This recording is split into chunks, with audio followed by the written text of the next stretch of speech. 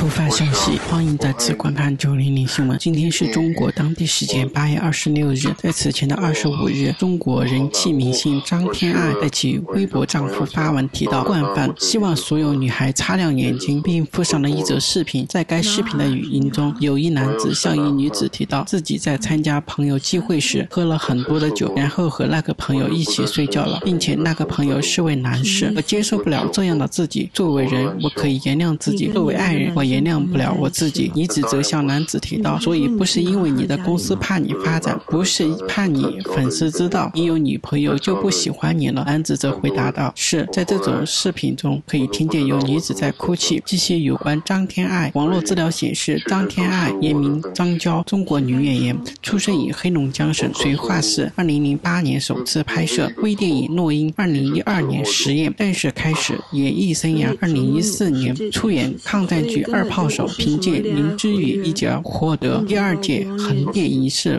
文荣奖最佳女配角奖。二零一五年主演古装网剧《太子妃升职记》，因饰演太子妃张凡凡而走红。徐开闢网络资料显示，徐开闢中国大陆演员、模特，毕业于上海戏剧学院，二零零七年及芭蕾舞班本科班，二零一二年签约于明道工作室，成为旗下艺人。二零一三年在电视剧《剩你的代价二》饰演段凯一角，正式出道成为新生代男演员。二零一四年参加安徽卫视大型男性选拔真人秀大赛《超级先生》，入围谢娜队学员，最后获得季军。